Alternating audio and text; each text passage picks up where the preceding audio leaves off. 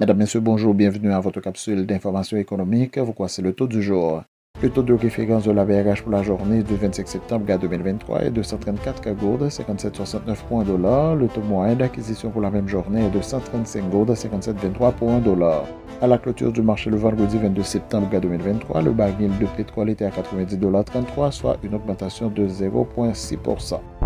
Les transferts privés sans contrepartie ont reculé de 7,21% au troisième trimestre de l'exercice fiscal 2022-2023, les portant à 2,75 milliards de dollars américains, a indiqué la Banque de la République d'Haïti dans sa dernière note sur la politique monétaire. Cette diminution des transferts privés est liée à l'inflation et au manque de dynamisme de l'activité économique de certains pays expéditeurs, ainsi que les mouvements migratoires découlant de la dégradation des conditions de sécurité en Haïti.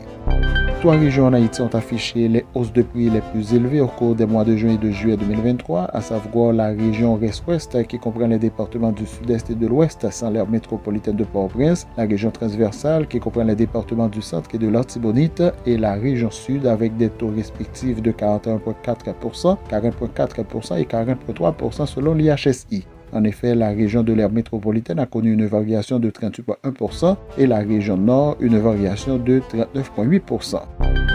Un peso sur trois du produit intérieur brut de la République dominicaine provient des domaines de la construction, de l'agriculture et de l'élevage, secteurs dans lesquels la main-d'œuvre haïtienne dépasse le pourcentage allant jusqu'à 30%, estime le journal en ligne dominicain Acento. Il y a 10 ans, en 2012, on estimait que la population d'origine étrangère contribuait à 7,5% de la valeur ajoutée de l'économie, tandis que la population née en Haïti contribuait à 5,4%.